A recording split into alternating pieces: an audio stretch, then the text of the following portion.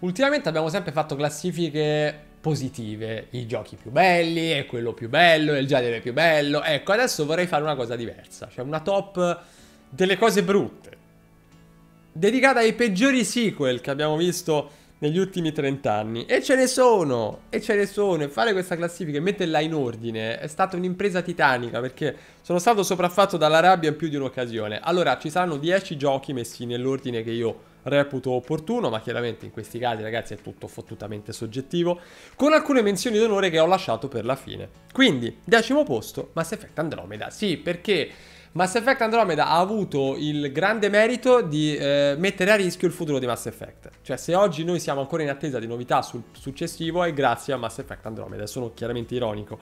Um, un titolo che ha saputo perdere tutta la profondità ruolistica che apparteneva alla serie per uh, prostrarsi sull'altare dell'action a tutti i costi e perdere quella quell'emotività, quella, quella, quella quella capacità di empatizzare col giocatore che c'era stata anche in Mass Effect 3, il chiacchieratissimo Mass Effect 3.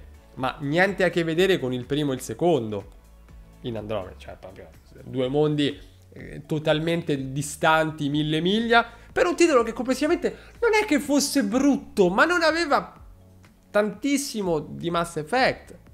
Ecco, l'avessero chiamato in un altro modo, lo avremmo ricordato con sicuramente più sorrisi legato a Mass Effect ti ricordi tante belle cose, ma tante te le vorresti anche dimenticare. E non parlo dei bug di lancio, parlo, parlo proprio dell'infrastruttura del concept, della caratterizzazione dei personaggi, che niente avevano a che vedere con quelli leggendari delle prime tre iterazioni del brand. Speriamo con tutto il cuore che il prossimo titolo della serie possa essere ricordato per motivi diversi. Nono posto, Lost Planet 3. Questo forse se lo ricordano in pochi. Titolo che è stato frutto di una politica abbastanza discutibile da parte di Capcom. Perché? Il primo Lost Planet era un gioco meraviglioso, molto intimista, narrativamente importante, con un bellissimo gameplay, bellissimo.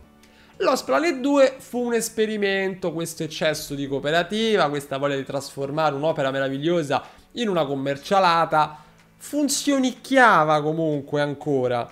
Lost Planet 3 è stato un ok, abbiamo provato a fare il multi, non ci è riuscito, ritorniamo a fare il single, ma mancava la profondità del primo capitolo della serie, quindi ciò che ne derivò fu un titolo senza né capo né coda, senza grande profondità, che voleva essere un po' tutto ma che non riusciva a essere niente. Una produzione che onestamente ricordo con una certa angoscia e che non consiglierei se non per puro spirito di analisi e di osservazione, di allargamento dei propri orizzonti per conoscenza. Ecco.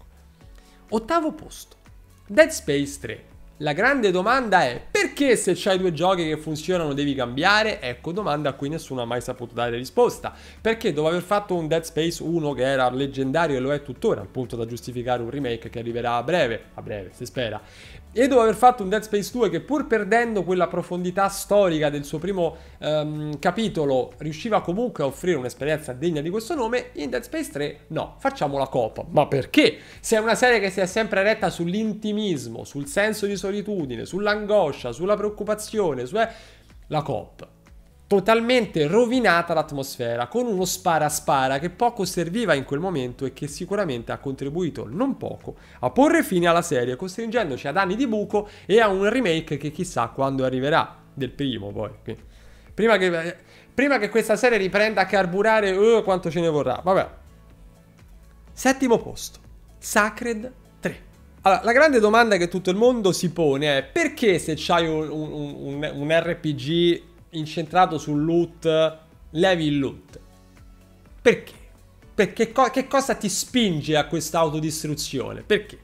Titolo che non aveva né la profondità ruolistica dei suoi predecessori, né tantomeno la componente compulsiva di gameplay nella progressione, gioco di una pochezza disarmante che ancora oggi tutti gli appassionati ricordano con angoscia irripetibile. È un titolo che ci ha suscitato veramente più, più, dispiaceri che gioie, un titolo di cui io onestamente non ricordo aspetti positivi. Per quanto mi sforzi, non ricordo un aspetto positivo di Sacred 3.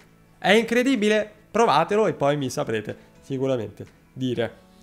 Sesto posto, Ninja Gaiden 3. Tutti e tre, poi se ci fate caso, 3 il numero perfetto, sta cippa. Ehm, Ninja Gaiden 3. Ninja Gaiden 3, titolo che ha sacrificato la sua profondità generale per essere un po' più commerciale. Non era un brutto gioco sicuramente, ma anche qui la classe, la qualità, la purezza dei suoi due predecessori totalmente rinnegata per creare un titolo che fosse un'esplosione incessante con dinamiche di gameplay neanche così rifinite come erano quelle dei precedenti due. Insomma, un titolo che sì, giocabile, gradevole se si è appassionati di quel genere, ma che se si insomma, se si apprezzano i due precedenti non può trasmetterti granché. Io l'ho vissuto veramente male Ninja Gaiden 3 perché anche dal punto di vista narrativo non è che avesse tutte queste qualità. Gioco veramente trascurabile sotto tutti i punti di vista, tant'è che poi la serie lì si è fermata.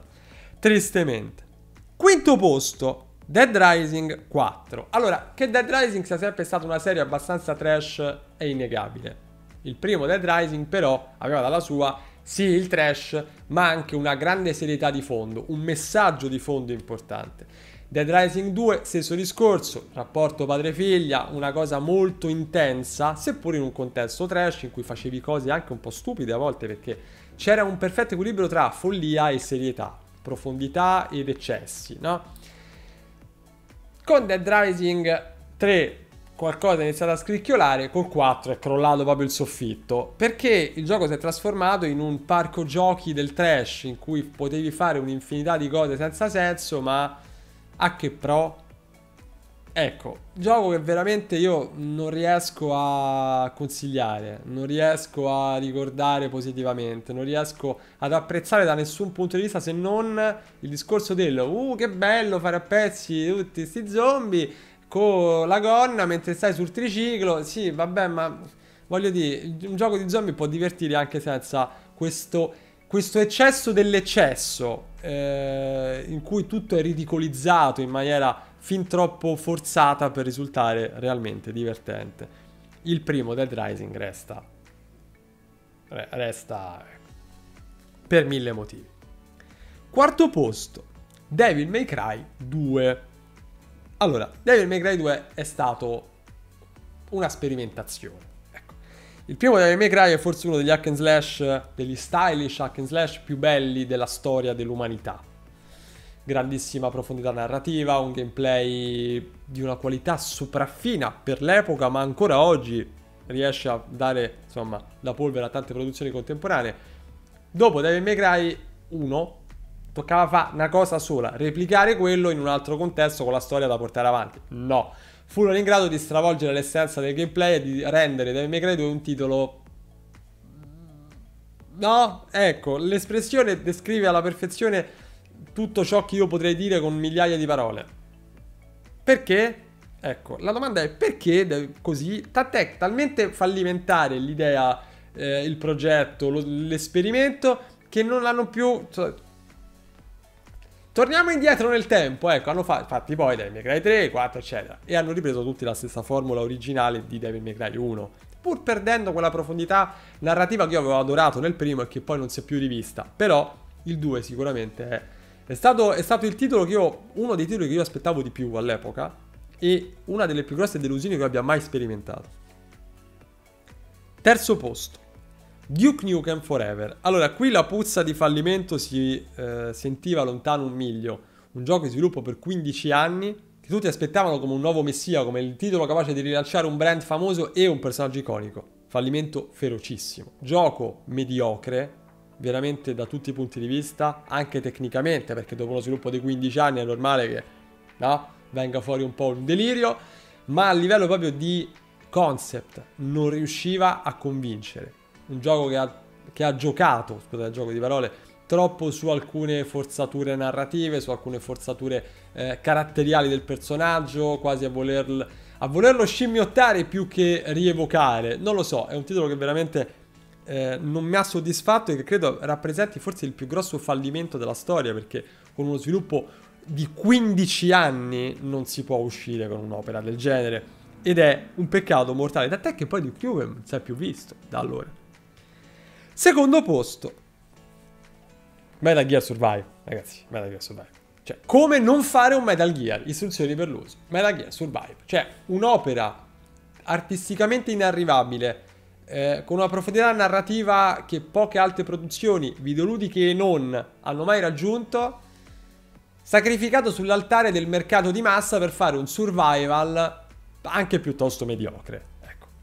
Partente da una base narrativa senza senso e raccontante qualcosa di abominevole. Cioè, io, io veramente non ho, non ho avuto il coraggio di ritornarci su Metal Gear Survive una volta chiusa la prima run perché è un titolo che rappresenta un'offesa secondo me al brand di appartenenza da tutti i punti. Sì, non è un survival così brutto da va bene, ma se noi confrontiamo la qualità artistica di un qualsiasi Metal Gear diretto da Kojima con Metal Gear Survive ti viene da bestemmiare, ecco, diciamolo con grande chiarezza e trasparenza. Per cui titolo che secondo me se non fosse mai uscito nessuno ne avrebbe mai sentito la mancanza. Su questo credo che potremo essere tutti d'accordo. E al mio primo posto, toccato un po' nel, per, nel personale, nel privato, dico Broken Sword 5. È secondo me il peggior sequel di sempre. Allora, doverosa premessa, Broken Sword è il mio gioco preferito, il primo. In assoluto, quello che ho giocato più volte nella mia vita e a cui sono più legato emotivamente per mille motivi, quello che mi ha fatto scoprire l'amore per la storia, ehm, quello che mi ha fatto scoprire l'amore per mille cose e che io tuttora gioco periodicamente. Un titolo che ho amato alla follia e che mi spinse all'epoca, seppur in una certa ristrettezza economica, a finanziare Broken Sword 5 con il Kickstarter che ci fu per svilupparlo. Con una discreta cifra, che poi è la, questo qui, ecco, è la confezione, che conservo gelosamente. Un titolo che doveva riportare la profondità, la magia di un brand meraviglioso che negli anni ha avuto enormi alti e bassi, un titolo che non ha saputo riportare niente di quello che era l'originale. I personaggi troppo legati al voler ricordare ciò che erano per riproporsi in maniera veramente convincente, una storia banale, poco entusiasmante, priva di quei colpi di scena che hanno fatto grande, soprattutto il primo capitolo, una progressione banale fatta di enigmi spesso veramente squallidi e non minimamente stimolanti. Un titolo che se potessi mi dimenticherei, ma purtroppo non uscirà mai dalla mia mente. Da super appassionato della serie, devo dire quella che a molti apparirà come una bestialità, cioè ho preferito il 3 e il 4 a questo. Che è tutto dire. Che è tutto dire, perché quantomeno dal punto di vista narrativo funzionavano, avevano un senso. Il 5 manco quello, manco quello. Cioè il 5 riesce veramente a convincere solo da un punto di vista grafico, stilistico, perché comunque ho apprezzato quell'evoluzione stilistica del brand originale, diciamo.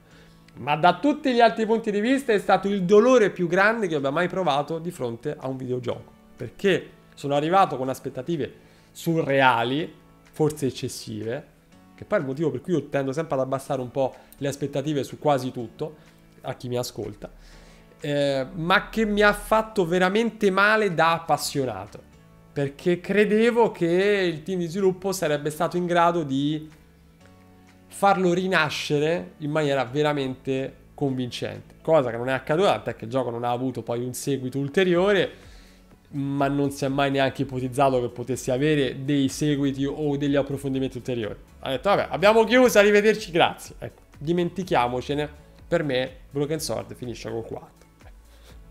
Comunque, ragazzi, direi che questo è tutto. Fatemi sapere voi cosa ne pensate della mia top, che poi alla fine è una flop, ma i, i, i peggiori, i, i, top peggiori sequel. Ehm, fatemi sapere voi quali sono i vostri peggiori sequel? Quali sono le cose che più vi hanno addolorato, quelle che più vi hanno deluso e in che ordine le mettereste? Noi ci vediamo settimana prossima per un'altra classifica. Su cosa sarà lo scoprirete.